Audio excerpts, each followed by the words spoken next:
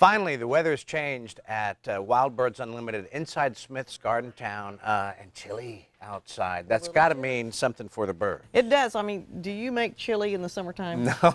Oh, It sounds good, though. We have Ah, okay. we do. We do s- different kinds of bird seed and different kinds of bird food in the wintertime. One that was very popular last winter when it first came out was the Winter Super Blend in the seed and the cylinder form. And then uh, a lot of people know that you want to give suets in the wintertime, and we've got them in all kinds of forms. The traditional uh, suet blocks, but we also have cylinders that go in the larger feeders.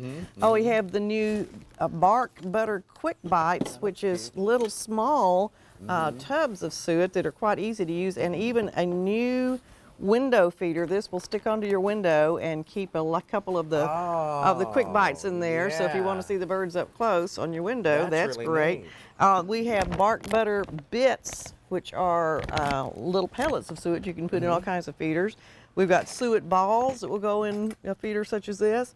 And um, as we get into the colder weather, we will see the American goldfinch in this area, and they like a different type of food. You can see this feeder has smaller holes in it than the regular uh, tube feeders.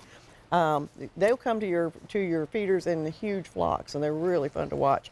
So, new food, new season at uh, Wild Birds Unlimited inside Smith's Garden Town.